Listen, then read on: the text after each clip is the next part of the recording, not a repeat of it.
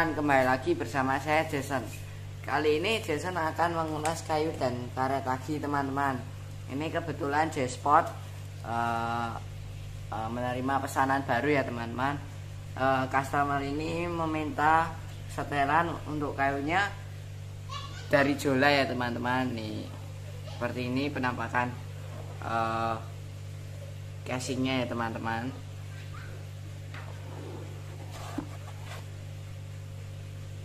Nah, kayu ini namanya Jola Trinity, teman-teman. Visaris Trinity ini. Ini ya kayunya.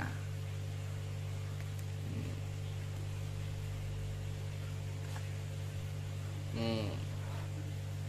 Nah, kayu ini memiliki tople limbah, teman-teman, dan karbonnya yaitu X3. Nah, X3 itu eh, gabungan antara ALC dan ZLC.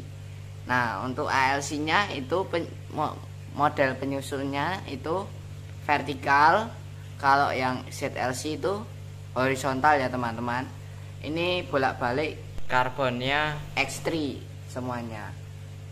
Nah, ini ya, teman-teman. Nih.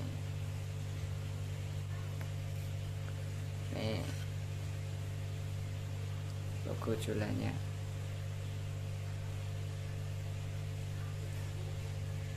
nah terus untuk karetnya uh, customer ini minta dipasangkan dengan jola di jola ya teman-teman karetnya. Untuk yang forehand jola dinaris ZGR dan untuk yang backhand Jola Dinaris ACC. Nah, untuk Jola Dinaris ZGR digrinya 57 setengah ya teman-teman. Untuk Jola Dinaris ACC digrinya 47 setengah teman-teman. Nah, ini Jola Dinaris ACC-nya berwarna ungu ya. Untuk yang Jola Dinaris ZGR berwarna hitam. Nah sekarang kita akan timbang kayu Visaris Trinity-nya ya teman-teman.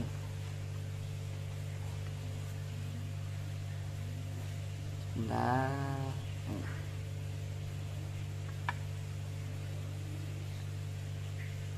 beratnya 89 gram teman-teman.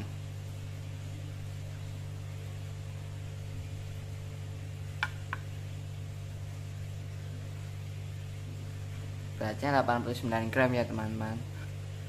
Oke. Okay. uh, eh, iya kebetulan customernya minta bednya dicoret-coret sama Jason ya teman-teman. Nih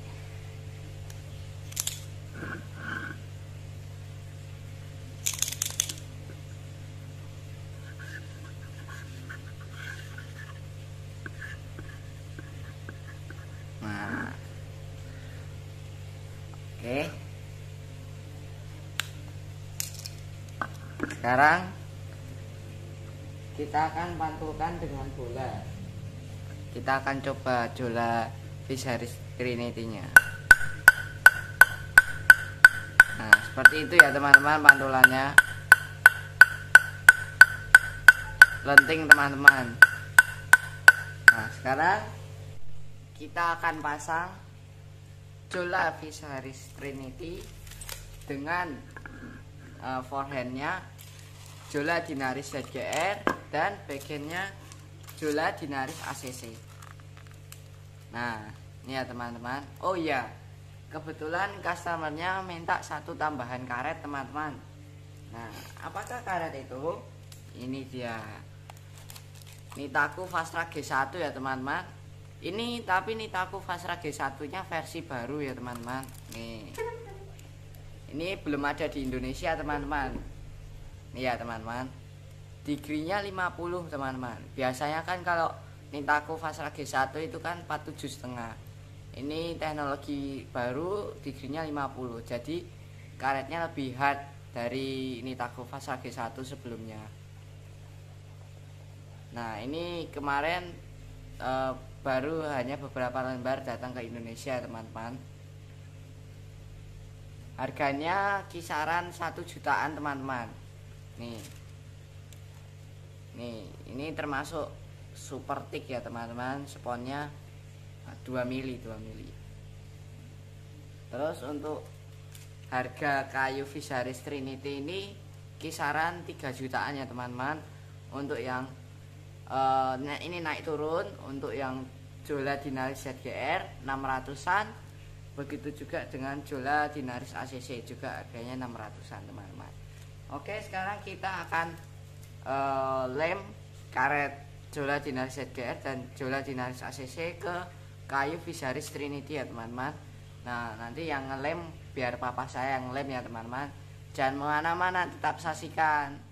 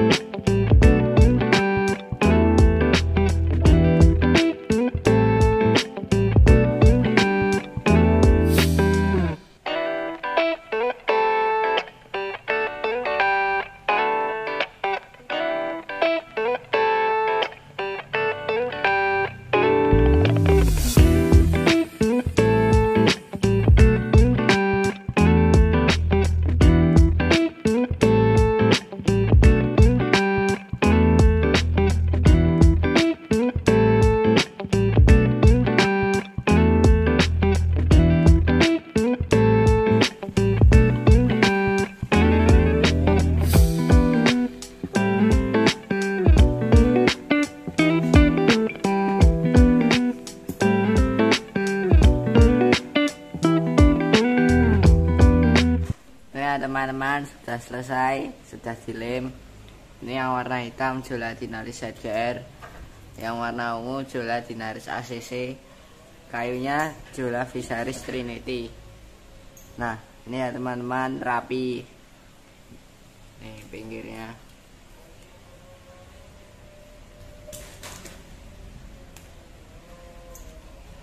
Nah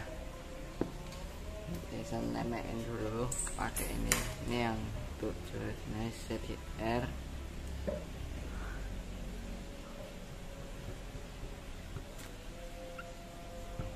satunya Jolatinaris ACC nah sekarang masukin ke tempatnya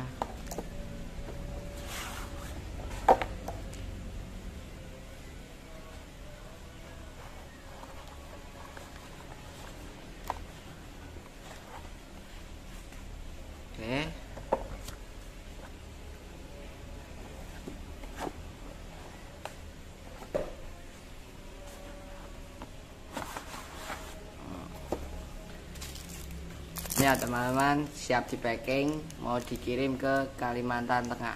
Nah ini ya teman-teman sudah uh, jadi. Ini Jason lagi di lapangan tempat latihan Jason. Kebetulan customernya minta Jason untuk mencoba test drive setelan ini ya teman-teman. Uh, nih. Rapi ya teman-teman potongannya Nah untuk yang warna hitam Jola Dinaris ZGR dan warna ungu Jola Dinaris ACC Kayunya Jola Visaris Trinity. Oke teman-teman sekarang kita akan coba ya.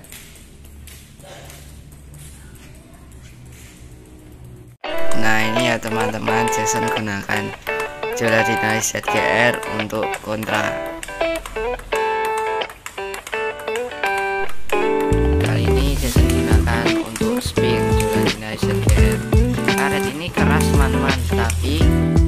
sekeras Hurricane karet ini masih sedikit soft daripada Hurricane nah ini untuk stroke Joladinaris ACC teman-teman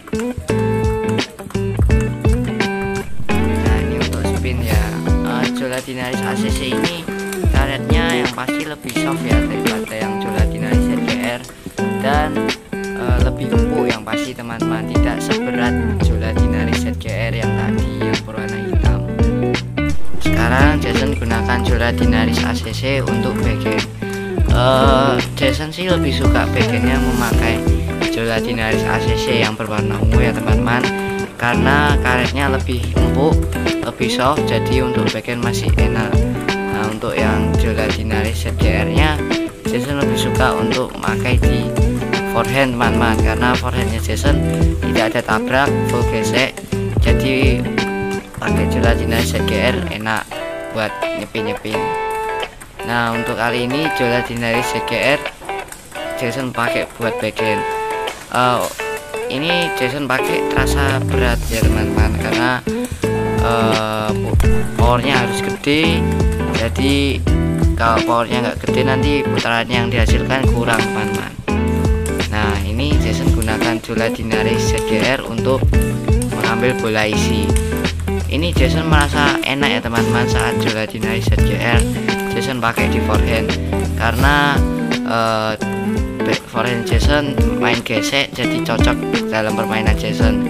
Nah untuk bagiannya Jason juga cocok memakai Jola Dinaris ACC walaupun karetnya empuk tetapi uh, putaran dihasilkan banyak teman-teman Jason ngerasa saat mukul itu terasa cek cek cek.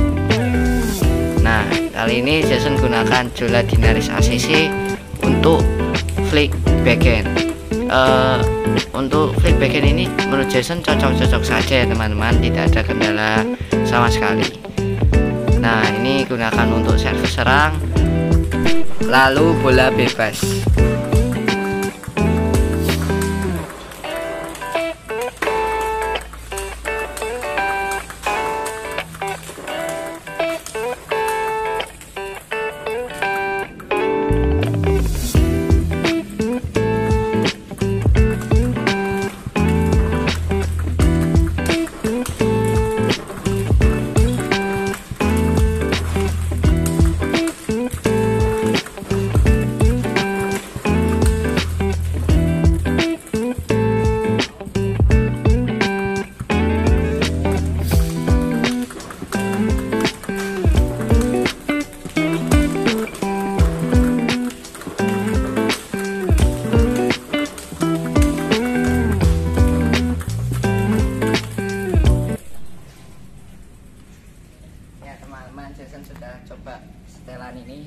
um, kalau Jason forehandnya lebih suka yang uh, hitam yang Jola Dinaris ZGR kalau yang bagiannya itu yang Jola Dinaris ACC teman-teman.